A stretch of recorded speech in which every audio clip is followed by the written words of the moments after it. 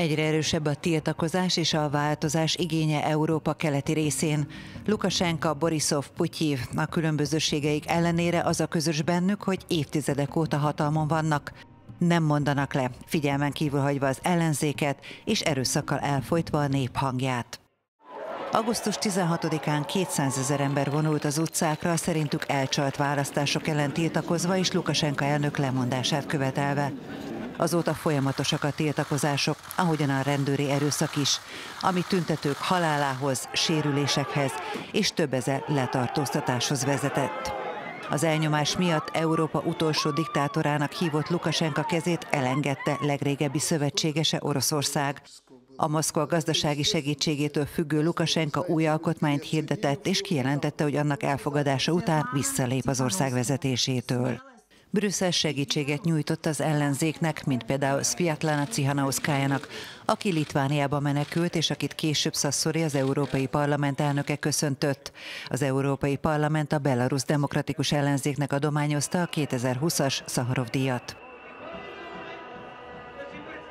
Egy másik ország, ezúttal egy EU tagállam, egy másik vezető, aki nem hajlandó lemondani hatalmáról. A bolgárok több mint három hónapon át tüntettek Bojko Borisov miniszterelnök lemondását követelve. Nevét és környezetét a korrupció és az oligarchikus mafiával való kapcsolatok vágya szennyezik. Roman Radev elnök hiába kérte a kormány és Iván Gesev legfőbb ügyész lemondását.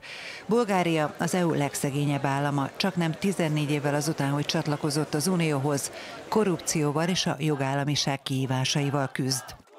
Más ország, más vezető. A Vladimir Putyin hatalmát bebetonzó alkotmányos népszavazás Oroszországban is tiltakozásokat váltott ki, bár az ország történelme miatt nem óriási méretűeket.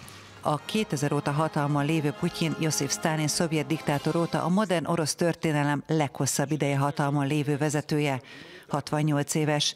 Putyin negyedik ciklusa 2024-ben ér véget, de a szavazatok 78%-ával elnyert alkotmányreformról szóló júliusi népszavazás révén 2036-ig hatalmon maradhat.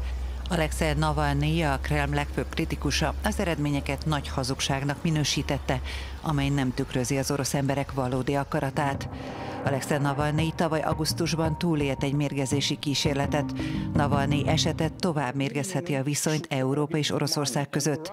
Különösen, ha a Kreml úgy érzi, hogy megrendült az emberek bizalma, a nyugat pedig politikai ellenfeleinek meggyilkolásával vádolja.